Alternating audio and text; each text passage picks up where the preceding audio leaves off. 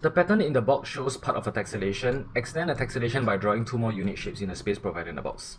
Now, as per my strategy previously, just go and watch my previous uh, videos, sir.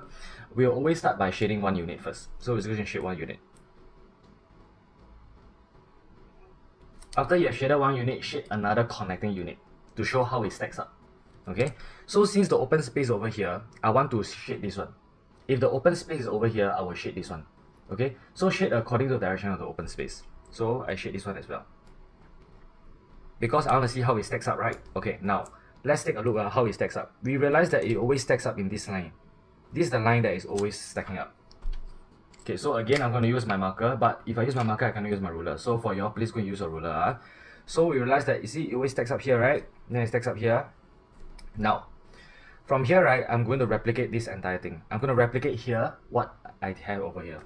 So from here, you realize that at the back end, it joined the other line. Okay, so it goes like this. So whatever I do on the real shape, oh, sorry, whatever I do on the existing shape, I'm going to do on my own shape. So this line is this line. So this line will be this line. Okay, and this line would be this line. So you realize right now, right, I'm always doing line by line. Okay, I don't want to go like I'm. I don't want to try everything at one go. I just want to do one line by one line. So this line would be this line. It's like connecting the dots. Okay, this line will be this line, and this line will be this line. Okay, then like that I'm done. So the strategy that I always teach is always go line by line. Don't try to replicate the entire thing. You'll be too confused. Every single problem, break it down into different pieces, you'll be able to get answer. Okay, now this one, right? So one. Yeah, actually, you all, do, you all don't need to write one. Uh. I'm just writing one just to show you all. Okay. So what parents are watching this also teach that teach your kid my instruction. This will be a lot easier for them to understand also. Now for this one, okay, I'm going to shade the open space over here, right? So I'm going to shade the nearest tessellation space. Okay, so step one, shade this one. And since my open space over here, I'm going to shade the opposing, the opposing side. Step two, shade the opposing one. Okay, see how they stack. Now, third step, go and draw what they're trying, draw on what you're, draw on the existing what they're trying to emulate, which is this. This is the existing, I'm trying to emulate this one. Okay, so once I draw this one, right, okay, then this one is mine. I'll draw the equivalent. Then from here, also on my existing, I draw like that.